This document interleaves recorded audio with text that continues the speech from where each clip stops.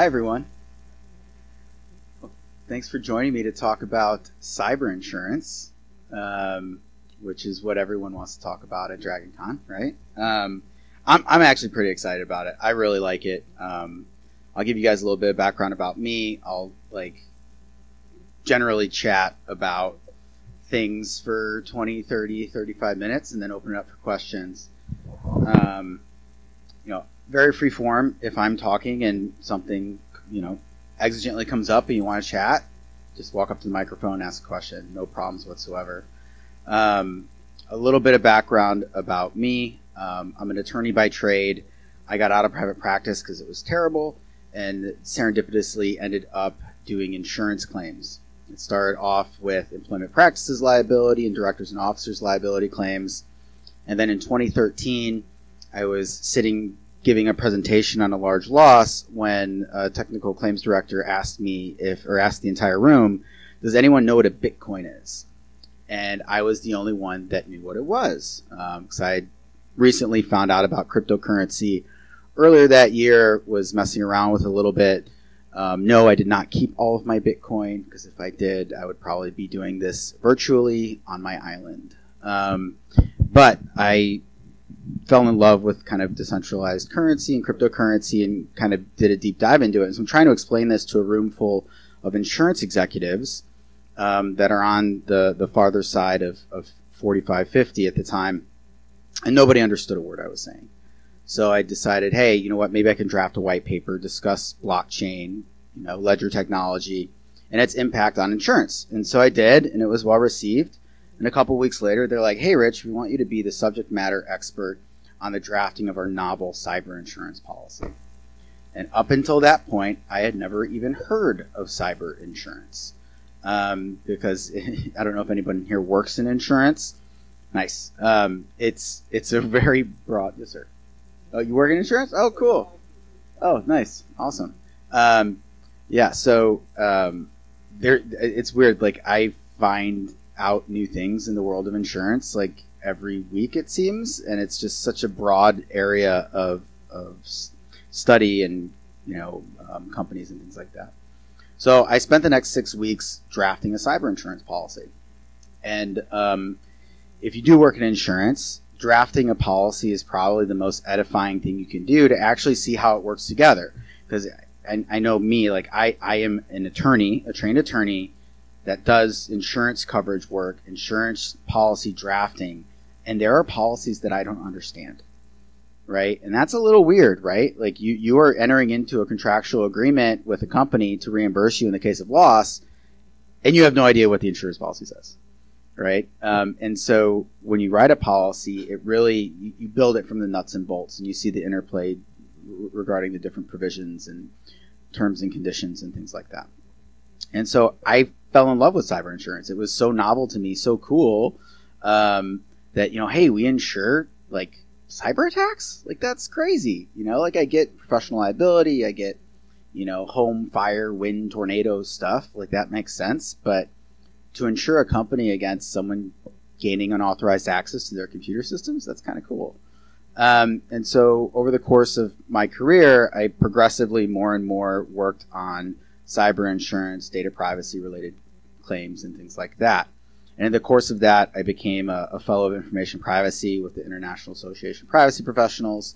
Um, you know, I've worked on hundreds, if not a, a couple thousand, uh, ransomware claims. Um, I don't know if anyone was here for my ransomware panel yesterday. Um, and through that time, I've seen cyber insurance really, really kind of develop and change, right? Because initially, a cyber insurance policy was worried about unauthorized access to personally identifiable information, data breaches, right? That was the big thing. Remember Yahoo, right? Like, or not, yeah, Yahoo and then Target. That's the one that like really brought data breaches kind of into the, the, the public like consciousness, right? And all of them, right? Like, there's there's so so many, and you know, for the longest time, it was really okay. How do we safeguard this data? And you had the European Union, um, some states, um, California, Massachusetts, that started to create these kind of privacy statutes, right? Because in the technological revolution of our society, what is the number one currency? Data. Right? How much stuff do we do and we get for free? Like, you know, my phone. Like, how many apps do I got on here? They don't charge me anything, right? But what do they take from me? My data.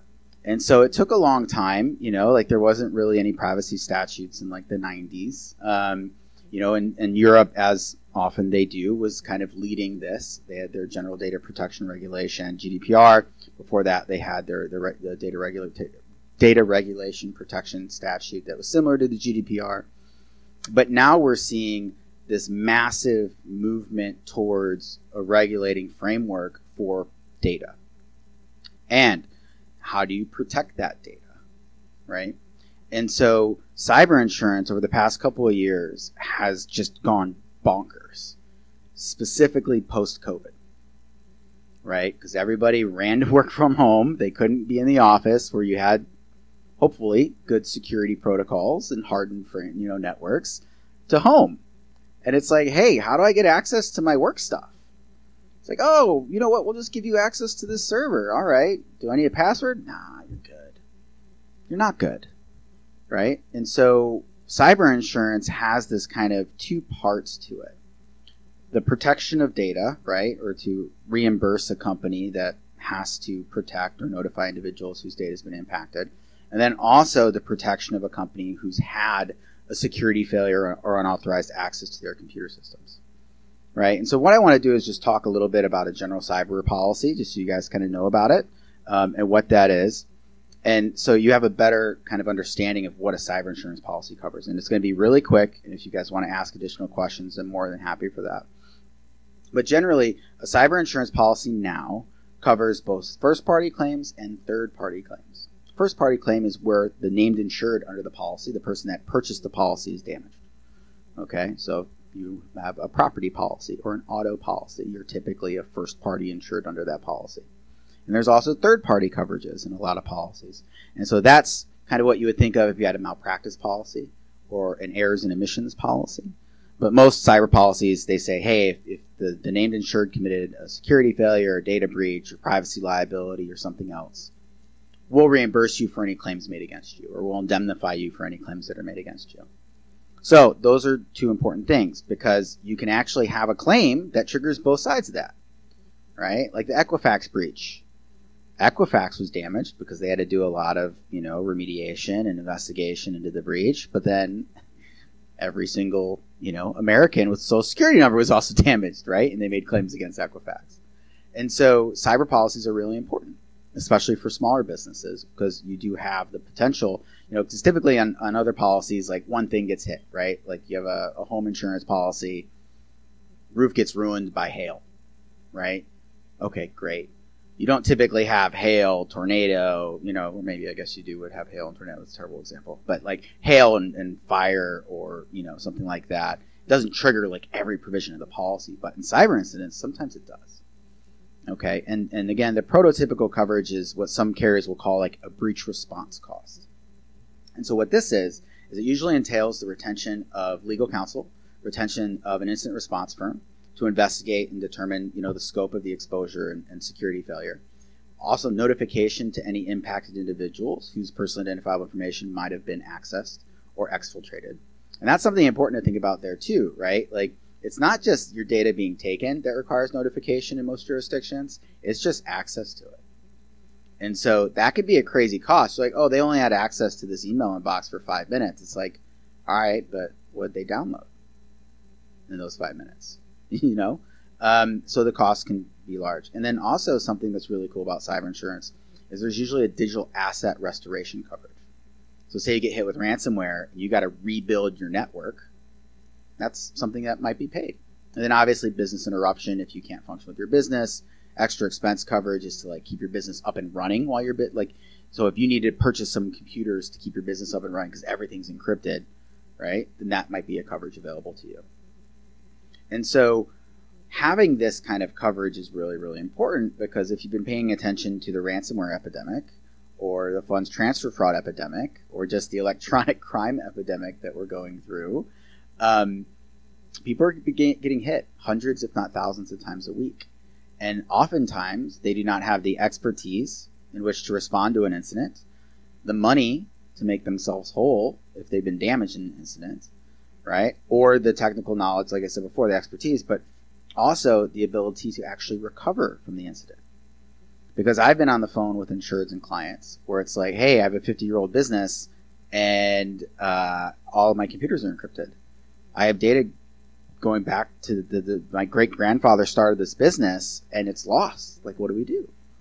Say, well, you bought good insurance, so let's negotiate with the bad actors, right? Try to get your data back. You know, and we could talk about you know ransomware payments and whatnot a little bit. Um, that was the majority of my talk yesterday. But you know, the thing is, is with these epidemics, cyber insurance has caused a lot of controversy, right? Is it causing the ransomware epidemic? Is it actually like increasing the amount of crimes that are being undertaken? And, you know, I don't know, does fire insurance cause arson? Man, no, no, it doesn't. Not at all, right? Um, but, you know, cyber insurance is, is very controversial because number one, in a lot of a lot of times you're paying criminals, right? Like, I guess the fire insurance analogy, if you would basically pay someone who threatens to set fire to your building, would your fire insurance policy cover that? No. It, right. So, and the, the person speaking said if, if the arson could cause a fire from anywhere in the world, it'd be different. And you're absolutely correct, right? Because we've actually seen property damage from ransomware threat actors. A person died a couple years ago in a German hospital because of things being encrypted during a ransomware attack. And so, I and I, I, guess I should start off with this too. I have a very natural bias in regards to cyber insurance because it's something that I, I do as a, a living and I enjoy and I'm passionate about. So I, I personally think that it's a valid form of risk mitigation and it's something that's very, very important for a lot of businesses to have. Um, I'm not just saying that because you know I work for a cyber insurance carrier and they pay my bills, but because I talk to people that are going through the worst day of their life in a lot of ways, if not literally the worst day of their life, and I get to make it better. And I get to say, hey, you got good insurance. In 30 minutes, we're going to be on the phone with counsel and forensics, and if you know we need to pay the ransom, you know we'll we'll negotiate with them. We'll get that down and we'll pay it. Um, but um, you know, as the legal framework changes, as the regulatory framework changes, you know, there's going to be challenges and there's going to be additional controversy, with cyber insurance. Um, you know, there's some, you know, legal liabilities where you really can't have insurance pay things, right? And is that going to happen with cyber insurance? Like in some states and municipalities are now, it's illegal to pay ransom. I think Florida, um, South Carolina, maybe a couple other states. Yeah. Um, so you know what what do you do then? Because the insurance policy can't make a payment. But then are they then able to leverage the other parts of the policy, like the digital asset restoration coverage, the business interruption coverage? And so you're actually causing a, a larger risk via private companies uh, by not paying ransom. And so you know, cyber insurance is here to stay. I think it's one of those things where it's it, it's going to be a, a multi, multi billion dollar market. Um, I don't think computers are going to go away anytime soon, at least hopefully, because I'm not up on my survival knowledge. Um, and, you know, it's going to be some, a way that we can protect companies and individuals. Um, something that's coming now, kind of down the pipe, and some companies are doing stuff, is personal cyber insurance. And so I don't know if you've seen it on maybe your auto policy or your home policy or something like that. You have an option to buy uh, data breach protection. Um, I've even seen electronic bullying coverage, which I'm 100% against bullying, right? But I, I don't quite understand that coverage. Um, but you know, some of these companies they will offer reimbursement for counseling and things like that, you know, which is pretty cool. But um, you know, the, the thing about cyber insurance too, and some of the other controversies is in, in the, the premium one right now is the war in Ukraine. Okay, um, because most insurance policies have something called a war exclusion, right? So if Russia bombed New York, insurance policies aren't going to say, "Hey, we're gonna we're gonna pay for the damages that you suffered," right? Because it's a it's a peril or a risk that you can't quantify. You can't evaluate that, right? Because let's not forget, insurance is a business and they want to make money. Now, they make money by paying out claims, but they make money by getting more premium than the claims they pay out, right? And so, right now, there's a lot of discussion about do war exclusions cover something that's not technically a war, right? It's a special military operation. And, you know, we don't know because a lot of those war exclusions were created and drafted well before like technology, right? So if Ukraine Ukrainian hackers send some type of ransomware variant to Russia, or Russian hackers send something to, to Ukraine that then goes west, um, is that something that a cyber policy would cover? And the question, the, the answer is always it depends, right? Uh, do you have a question?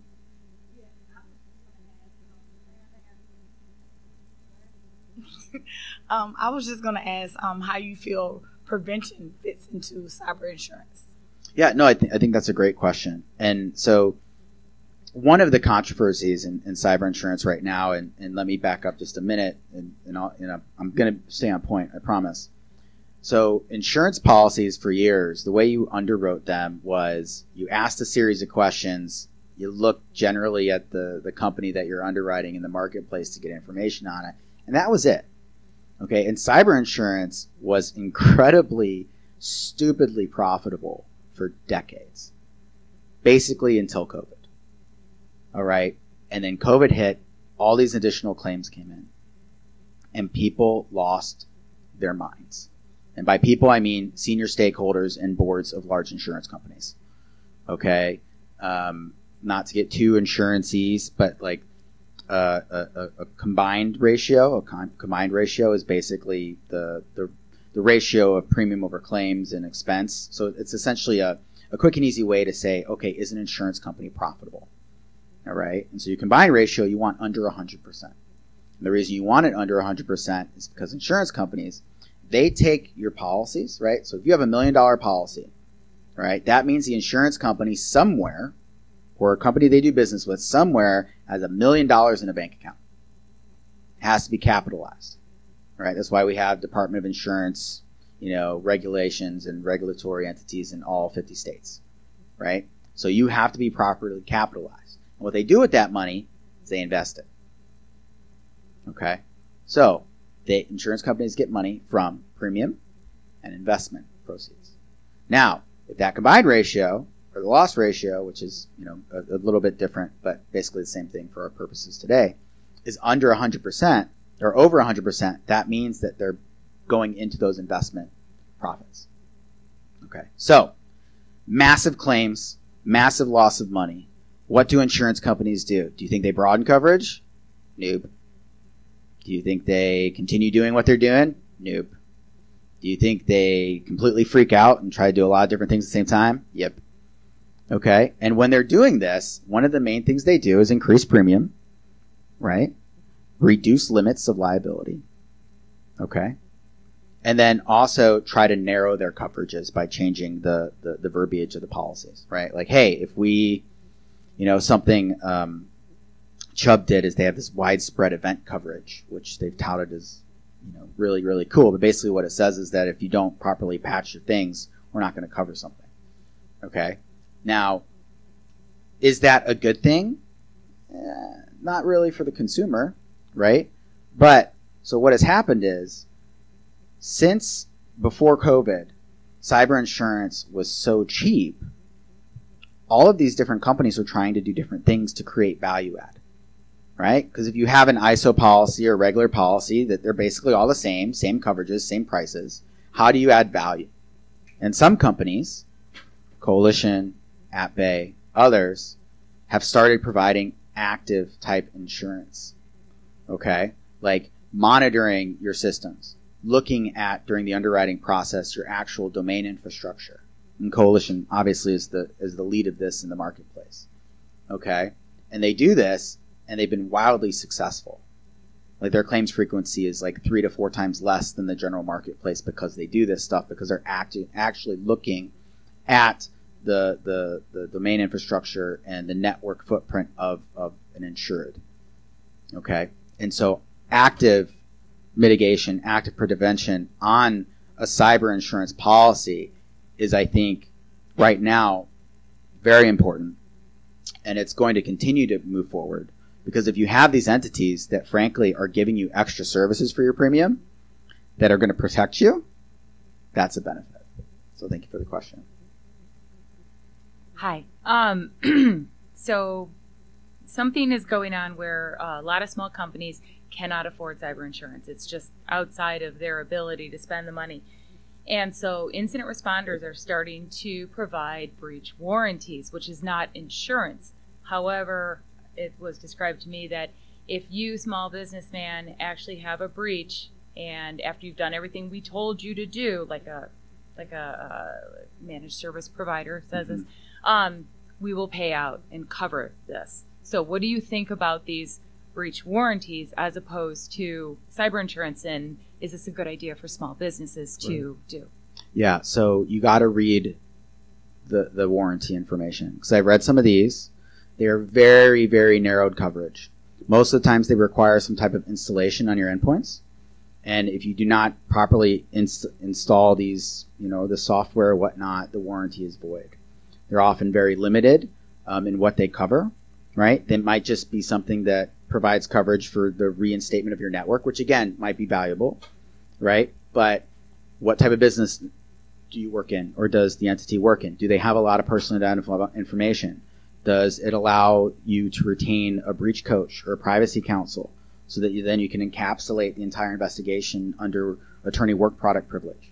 You know, so you have to read it, compare it to a cyber policy. And the thing is, too, is you know, cyber policies are getting more expensive, but there's also many, many cyber insurance companies. I've mentioned a couple of them today that specifically focus on small, medium-sized businesses. Okay, and the thing is, is you might not need two million dollars in coverage. You might not need a million dollars in coverage. You know, because and, and, it depends on what you do, and you know, because the big thing is, do you have a lot of personal identifiable information? How much revenue are you making in a week or two weeks, right? So if you had a business interruption loss, like gosh forbid you got hit by a ransomware attack, and your business was down for two weeks, what type of damages is that to you?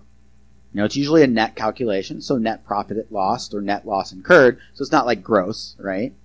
But you know, what is that? You know, because a lot of brokers are like, oh, you need a million dollars in coverage. You might not. You might need two million dollars in coverage. You might not. And so even though the, the cyber market is what we call like a hard market right now, which versus a soft market, which means low premium, increased coverage, hard market is higher premium, lower coverage. It, it's kind of a weird, weird hard market because cyber insurance companies are still fighting tooth and nail for insurance. And if you have MFA on everything, if you have an EDR solution on your network, if you have very limited endpoints, if you're using G Suite versus Microsoft Office for an email tenant, don't use don't use Microsoft Office for email. I mean, you do do what you need to do, right? I'm not here to provide that type of information, but 99.99999 all the way over there of the business email compromises I've dealt with and all of my colleagues at multiple companies have dealt with have been on Microsoft 365 or Microsoft Outlook or Microsoft On-Prem Exchange. Because G Suite kind of has this kind of soft MFA on it. Um, and so if you have the appropriate like network framework put in place, your cyber insurance policy can be pretty cheap. And if it's not, shop around and you might have to go to a different broker. Because something to think about too from a sh- cyber insurance context is most cyber insurance companies, actually all of them, I don't think any go direct to retail. So you have to go through a broker. Now the way the brokers work is you have retail brokers that actually work with the individuals that run a business. Um, but often they don't have expertise for specialty lines insurance like cyber. So what they'll do is they'll go through what's called a wholesale broker. So that wholesale broker will then go to the insurance company. So if you have a retail broker isn't very sophisticated with cyber and is just giving you random quotes they're too expensive, shop around. Go to a different broker. Get some of that. You know, because depending upon your coverage, depending upon your retention, you know, and you can talk, ideally, you should be talking to an insurance company that will answer these questions for you. Right? Because we're way past the time frame of hey, I can't talk to an insurance company and answer these questions, or my broker doesn't know. You know, because everyone that has a business that works with computers should have cyber insurance. And if you don't, you need to try to get some. And so again, you know, I, you know, it sucks that it's getting more expensive, I do think that as um, the market changes and as more of the cyber insurance requirements for coverage, like MFA everywhere and other th- and other places, um, changes, you're going to see a softening of the market. I mean, because a couple years ago, you could get, you know, a million dollars of coverage for like a grant in some places. You know, and this was on risks that had claims the prior year. So it's just, you know, it's been a little bit of a, a 180. No, one grand for a policy year. Yeah, and and so, so for the people on video, the gentleman asked uh, for clarification on was it one thousand dollars a month? Yes, and no, it's it's for the actual policy period. So something that I can talk about too with cyber insurance policies that you need to understand is they're also called typically claims made and reported policies. So uh, your auto policy, your home policy is what what's called an occurrence based policy, which means if you buy a policy for 2021 to 2022 and something happens within that policy period, you can make a claim whenever. You make a claim three years later. It's based going to be in that policy, unless there's specific language that says you need to report it in a certain time frame. But a cyber policy is typically claims made and reported, which means the claim or incident needs to be discovered or made against you within that policy period, and you need to report it within your policy period. Okay, and that's a very big distinction, right? And but what that also means, though, is from a cyber insurance company perspective, ideally after your your policy period's over and any extended reporting period, they know how good of a risk you are, right? And so if you've had cyber insurance for four or five years and you've not had any claims, and you're satisfying the requirements that they're providing in the application, it should be a pretty good risk. Do you have a question? Yeah, actually, I do. I've never heard of a breach warranty before. Um, and I had heard you say South Carolina, and I happen to live in South Carolina. It's one of the states that won't pay out ransomware. So, f- for municipalities. Okay. For, municipalities. Well, you know, I mean, our whole state taxpayer database was hacked. Right. Uh, maybe eight years ago, ten years ago, the whole state was compromised. Right. So, um, but I'm wondering, are these breach warranties used in place of ransomware, like, or, in, or rather, in, in place of these um, ransom pol- insurance policies in those states?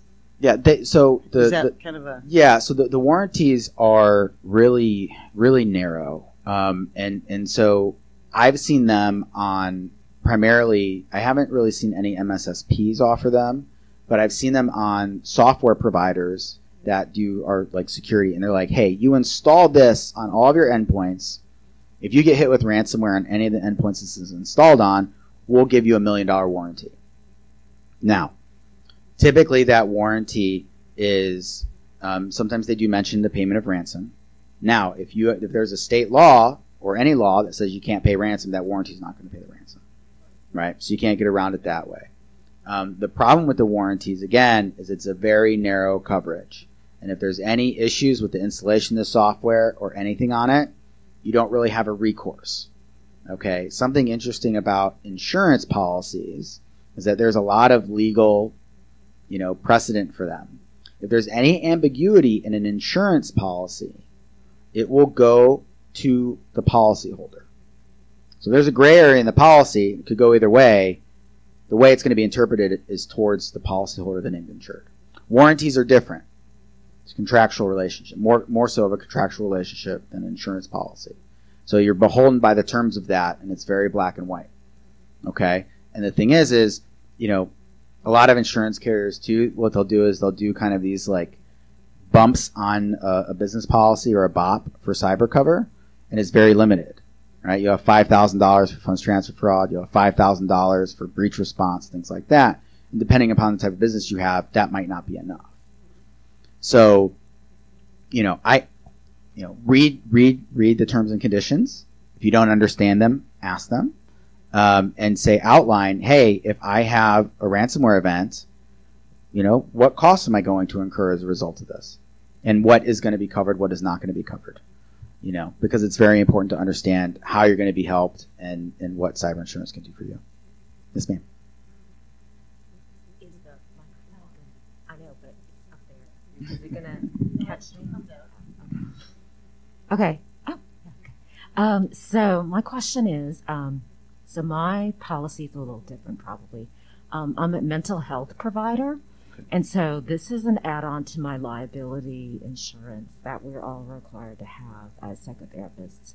And so this is a cyber insurance add-on and I mean it actually wasn't that expensive, so I just added it on and I'm not are, are you familiar with those? yes, they- absolutely, okay. absolutely. that are used for mental health professionals and are they worth it and pitfalls and things to look for? Sure. Um, it's actually not that common in our field to have this add-on. I don't think all the different liability policies have this, but the one that I have does, you know, recently within the last two years have this as an additional add-on. Thanks. Yeah, no, definitely. So, and the reason that cyber insurance probably isn't super like well known or used in your field is because typically your malpractice policies have HIPAA coverage, right? And so HIPAA, so the two like when you think about personally identifiable information, the two big bad babies in the house are PII, personally identifiable information, social security numbers, driver's license numbers. Um, in in one state, just your date of birth and name is considered PII, but we won't talk about that Dakota because we don't like them. Um, and then also private health information. Okay, so anything that is you know electronic private health information, it's very broad. Any type of medical information whatsoever. So doctors, nurses, healthcare providers, mental health professionals, their malpractice insurance typically has like a sublimited coverage for HIPAA related claims. Now, a cyber insurance add-on hopefully will have more coverage than just that because if you don't have private health information that's impacted, your your regular liability policy might might not respond, right? Like if it's just social security numbers or you know driver's license numbers, things like that. And it also might not help you if you're dealing with a business email compromise, right? Like, hey, how how do I deal with uh, uh, an attorney and forensic team to investigate this and see, okay, was there unauthorized access to my email, right? Or you know, a ransomware event, something like that. You know, so you want to look and say, okay, does it cover cyber extortion? Or also one of the big things that we're seeing a lot of, because um, personally, I think the Ukrainian conflict, a lot of the ransomware threat actors are either fighting or fighting each other right now. So it's pretty crazy um, in my field. February 24th, like ransomware claims like dropped like precipitously, um, and are are much lower than they were before then. Um, and now people seem to going towards business email compromises and funds transfer fraud. So ideally, your cyber add-on would have limited funds transfer fraud coverage. So if you are making payments electronically or receiving payments electronically, there's some coverage for that. Yes, sir. You mentioned earlier that uh, some claims might be denied if systems aren't patched. What kind of standards does cyber insurance set forth, and do they ever perform audits? Yeah. So you need to read your insurance policy, specifically any exclusionary language. So maybe we can do just a deep dive into like what is on a policy. So the first thing that's going to show up is your deck page or declarations. It's going to outline the named insured, the address, the coverages that were purchased, and the limits of liability. Right. After that, you're probably going to have terms and conditions. Read through those, right? But the main thing that you want to look at is insuring agreements or coverage grants. And you'll see it, it's pretty easy. That explains what is actually covered under the policy, right? So typically, first party, you'll say, all right, we'll pay for any breach response costs and expenses incurred after a discovered incident um, during the policy period, blah, blah, blah, blah. Things will be bolded. You'll want to read those definitions to have a better understanding of the coverage that's provided. Now, the insuring grants, or insuring coverage, but we'll call it insuring grant because it grants coverage, can be modified by other provisions in the policy. The terms and conditions, but those won't be exclusionary. All right. Definitions, because there might be something where breach response costs provide coverage only if uh, the individual whose personal identifiable information was accessed was was impacted. So versus other customers that might be you know working with that entity, some policies provide for voluntary notification. Um, but the exclusions, and you'll see a big section that says exclusions, will actually carve back coverage from the insuring grants, right? Breach of contract exclusion, war exclusion I mentioned earlier. There might be a, a, an exclusion that says you need to keep things patched, okay? Um, but it's going to depend specifically on the, the language of that exclusionary language. Um, sorry, it was a little redundant, redundant there. It's going to depend on the exclusionary language as written. Okay. And so read it. If you don't understand it, ask your broker, ask the insurance company. But what I was discussing was in specific to the question on the uh, warranties that are being offered by some MSSPs and some software providers. Okay, and what they do is they'll say, uh, or I, one second, I remember I was actually talking about something else, but those will often say if it's not pro- patched or properly installed, there's no coverage. But as we're dealing with, to your question, I apologize. Um, as we're dealing with a hardening insurance market, carriers are trying to get to basically, you know, there's a carrot and the stick, right? The active insurance, the active risk management is kind of the carrot. The very well defined exclusionary language is the stick to ensure that companies are staying patched and updated. So there might be like a duty to cooperate provision or something like that that says if you do not properly remediate an incident or if you do not, you know, patch something, right? Because the specific language I was talking about was in, I believe, the Chubb policy, and they have this wide event, uh, a widespread event coverage. And so what they specifically do is they sublimit coverage for like Log4j, Microsoft Exchange, events like that, right? Now, there's some language in there that says that if you're not keeping up to date with things, then there might be an issue for coverage. And the way they audit that typically is during the investigation if they say there's an issue here, right? Because something else you have to watch out for too is being honest on any applications with cyber insurance. Like if you say, hey, I have MFA on my email account or I have an EDR solution in place and you warrant that, and then you get hit with ransomware and it's like, hey, did you have MFA on this VPN access to, to your server? And they're like, oh, no, no, we just, we didn't even have a password, you know, then it's like, okay, that's a coverage issue, potentially. But generally, um, cyber insurance carriers will not say, hey, surprise, we want to audit your protocols. That you'll usually have discussions about that on renewal or um, if, if a fact arises outside of an investigation that says, okay, there might have been a misrepresentation during the underwriting process. Um, but I can tell you, cyber insurance carriers don't look for these things. It's not something where, oh, hey, we're doing an investigation here. We're really going to drill down and make sure they didn't lie. It's like, no, it's really, you know, if it comes up. Hi. Um, you had mentioned earlier that one of the Dakotas defines PIIs as only your name. Why is that? And could you also define MFA? Sure. Yeah. So I'm pretty sure it's North Dakota, but I'm I'm not dyslexic, but sometimes I feel like I am, and I always mix up North and South Dakota. Uh, but so every state has a privacy regulatory statute, and every state defines personally identifiable information differently. For the most part, the general rule of thumb is anything that can identify a household, right? So your name, date of birth, and a social security number, name, date of birth, banking information, name, date of birth, driver's license, things like that, right? Well, I think North Dakota or South Dakota. Um, if it's just your name and date of birth, that qualifies as PII. And so then you need to notify of a breach if that information's been accessed. And then MFA is multi-factor authentication. So for any type of login to a system, ideally you want to have multi-factor authentication or dual authentication. So you have credentials, login name, password, and some secondary method of authentication to verify you are who you are. So that can be SMS texts, although try to stay away from that. Something like Google Authenticator, Authy, YubiKey, something just so that if your credentials do get stolen or if they do get brute forced, there's another method required to get you know access to whatever it is you're trying to log into. Hi, I was wondering if you could clarify um, a little bit about how the legal system treats the geography of where the da- data is located. Sure.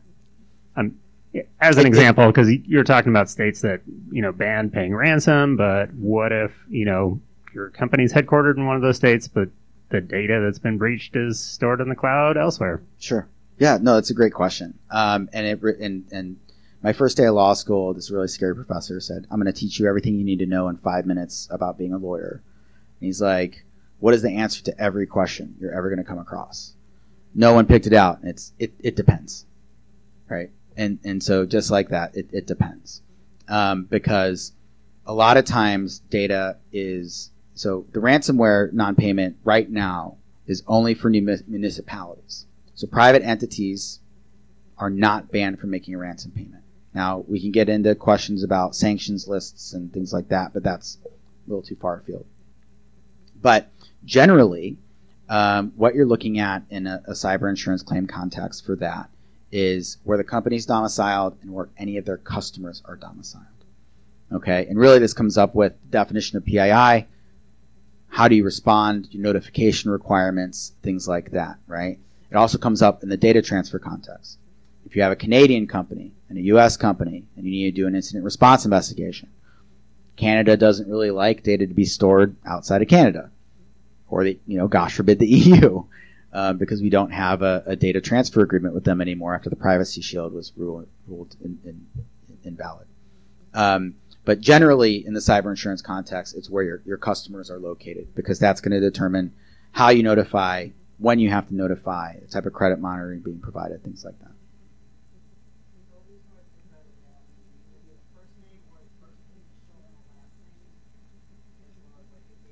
Mm-hmm.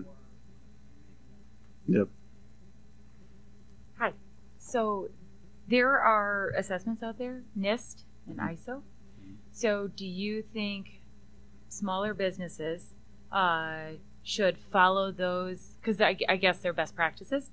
So do you think it is okay, or do you think it's within reason that a smaller business should follow every one of those best practices? Like, is is that a way to secure a small business? Is by following those best practices, or or just kind of is that a grain of salt kind of? Uh, yeah, I mean, um, Google doesn't follow all of NIST and, and ISO, even though they're certified. Like it, it's it's really really really hard to do, um, just because their standards are standards, right? Like for a man's reach should ever exceed his grasp, or what's heaven for, kind of thing, right? You try to get close, and maybe you, you get close, but it, it's it's very difficult to be NIST certified um, uh, or ISO certified, and so um, I think it's a good framework to look at. I think that um, CISA, um, the federal government entity CISA, they're coming out with a lot of really good information lately about general protection for smaller businesses. Um, but really, it's you know making sure that you're not reusing passwords. You have MFA, multi-factor authentication on email, any access into the network, and have good backups. Um, something that I've I've said I said yesterday, and I say it all the time, and I have some technical friends that disagree with me because uh, they don't think it's, it's it's appropriate, but I do. It's as defenders, we need to be perfect, right? But as attackers, they just need to be lucky because human error accounts for like 88% of all cyber incidents.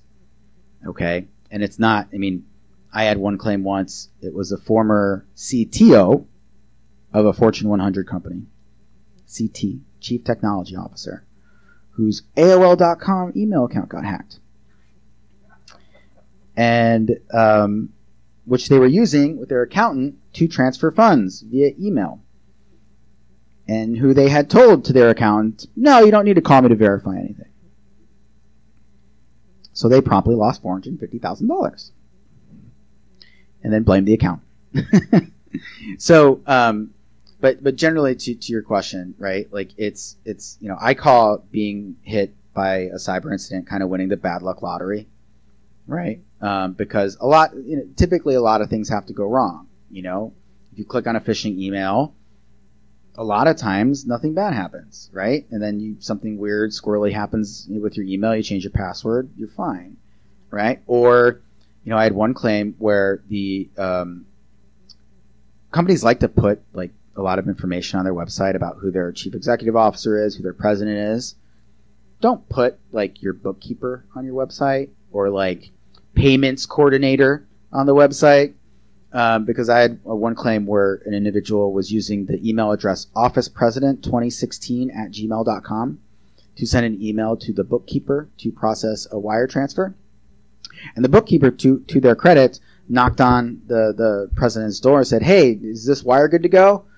And he's like, Yeah. And then literally two weeks later in the middle of the night, he woke up and was like, What wire? And so we're reviewing this and the bad actor was clearly using this this email, used the president's name, but it showed Office President 2016. And Google apparently caught on because halfway through the conversation, it changed to Office President 2017 at gmail.com. There was no data breach. There's no email compromise. We, we investigated. It was just someone sending a random email. So you don't want, you know, better to, to replace good, right? Because the simplest things, education of employees, being kind of aware that, hey, if I'm processing payments or if I'm dealing with personally identifiable information, I need to be careful, um, is really important. And the other thing I say a lot too is talk to people. I'm an elder millennial. I don't like talking to people on the phone. Okay. Like, but I'd say act like it's 1986, 1 800, call ATT, whatever it is. Like, just talk to somebody on the phone if something weird is going on. You know, I mean, I've, I've dealt with claims with millions, multi million dollar funds transfer fraud claims. Okay. Where literally the, the insured had the banking information rejected by the bank three times. Three times, and then still processed an ACH. Never once thought, huh, this is weird. We've made 35 payments to these people over the past two years. Why is this not working? Let me call up this person I've been working with. You know, so yes, NIST, those standards, they're great. I'm not an overly technical person. Um, but if you can follow them, awesome. Um, it can be very expensive to follow them.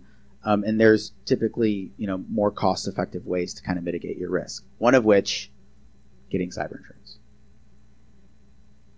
Any other questions currently? We have about 10 minutes left. I got another one, which is a bit of a segue, but um, I saw your, your anecdote about buying Bitcoin and stuff like that. It got me a little excited because I'm involved in the blockchain world right now. So I was wondering, is that blockchain insurance something that you could talk about or have interest? Yeah, so it's weird because I I've been trying to get into blockchain insurance for years because I I, I just you know again not overly technical, so it's you know there's not a lot of you know blockchain claim adjuster gigs out there yet. Um, but you know it's something that I think is going to be the future. Um, a lot of carriers, a lot of cyber insurance carriers have actually refused to underwrite blockchain companies. That is changing as blockchain becomes more important um, and, and more kind of mainstream. So um, I think blockchain companies do require cyber insurance. Okay, because you know funds transfer fraud might be a little bit difficult because you might not get covered for that. But you know, I think eventually you're going to have wallet addresses be considered personally identifiable information. Heard it here first, DragonCon 2022. Okay, I'm serious because it at a certain point will be something that can identify you in the world. It already can. So, you know, if IP addresses can be considered PII in California and in the EU and the UK, why not a Bitcoin address? You know, um, and it's publicly available information. But when you take publicly available information with other things, much like the date of birth in North Dakota, you then have identifying information. And so, you know, I think it's going to be very important to see how blockchain companies integrate with cyber insurance going forward. So, yeah. And I mean, I think, you know, something that I really enjoy about cyber insurance is, you know, just how it's, it's really agile and changing. So this talk might be completely different next year. And in five years, it probably will be completely different. Um, I think in the UK and Australia, there's only like uh, like a, a like, and I could be completely wrong here. I'm, this is double hearsay, but like three to five percent of businesses have cyber insurance. So it's going to be bigger and bigger and bigger, and it's going to become. I mean, we're starting to see. I, I've started to see advertisements on TV for cyber insurance, which is wild to me because it's something that I never once thought to see on TV. Yes, sir. Are ransom demands almost exclusively made with cryptocurrency now? Do you ever see anything old school with wire transfer requests or anything? No, no, not at all. So we, we I have seen a couple, but they they're usually like scatterbrained like email attempts where it's just like, oh hey, um, sir, um, I know your internet browsing habits, and your partner will be very upset if I tell them about this. Please send five hundred dollars to in PayPal or in in Amazon gift cards to this email address. Um, so we've seen gift cards, but the vast, vast majority are Bitcoin, and more variants are actually um, wanting to use Monero. And so if you're not familiar, Monero is a, a cryptocurrency that is uh, the first privacy coin, and it's able to, to a certain extent, and actually fairly well, hide recipients of of the coin. And so the problem with Bitcoin, I you can say problem from from a ransomware threat actor perspective, is all the transactions are public, and you're easily trackable. So a lot of variants, what they'll do is they'll say, "Hey, this is the demand in Bitcoin. If you pay in Monero, we'll give you 25% less demand because they can more easily hide their proceeds." Um, because blockchain tracking technology is really crazy right now. Um, there's actually a blockchains panel tomorrow that I'm on, so please stop by, same room. Um, but you know, as part of cyber insurance paying the ransom, there is kind of one. I, I don't know if I'd really call it a controversy, but um, you know, should we be going after these bad actors? Like actively going after them and trying to get these funds back that we spent. Now the government's doing a good job of trying to go after them and, and in some cases getting some money back. But is that something the cyber insurance industry should do? You know, deploy a bunch of white hats to try to to get this money back because rent. Yeah, no, you're right. It is. Um, but the, the problem too is is like, you know, these bad actors in a lot of in a lot of ways, um, they're they're living free and with the full permission of doing what they do with the governments of where they live. You know, in Russia, Ukraine, other places. I mean, they know who Conti is, who Sodinokibi is, things like that, and you know, they're still allowed to do what they do. Um, with regards to bad actors, for the the big the bigger things, right? Not just like the little five hundred dollars in gift cards. Um, do you find that most of them reside outside the U.S. and especially outside U.S. Regu- countries that are have agreement pacts with the U.S. like in those sanctioned companies? Do you find a lot of those hackers are out of there? Like what percentage? Yeah, I mean the vast, vast majority. Um, the vast majority of bad actors in the ransomware space are outside the U.S. So it's actually interesting. A lot of the ransomware uh, malware, um, it will actually not encrypt um, computer systems that their root language is in Russian or Uzbeki or Ukrainian.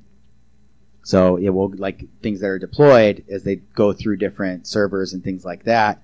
If the the root link, and again, I'm, we're coming very close to my technical knowledge here, so I might be using the wrong terminology, but essentially they can evaluate a computer system to see what language it's working in from like a language language perspective, not software language or anything like that. And if the root language is Russian or a bunch of other things, it won't encrypt. So they specifically target U.S., UK, Western companies. Um, you know, and a lot of these ransomware actors are are state nation groups, North Korea, uh, China, Russia. You know, they you know North Korea actually uses ransomware to fund a lot of what they do. So yeah, four more minutes left. I do have another question. Sure, Um, that's great. of the ransom so say someone has a ransomware event right and they say please um, please send us a million dollars and we will unencrypt your stuff how often of these the larger population actually truly unencrypt and don't leave something behind like so they could get back into you like do Sure. they go back and hit them a second time like we really don't see a lot of re-extortion. Um, so, and you would have loved my chat yesterday, but um, so the thing is, is there's this weird kind of honor among thieves for unencryption.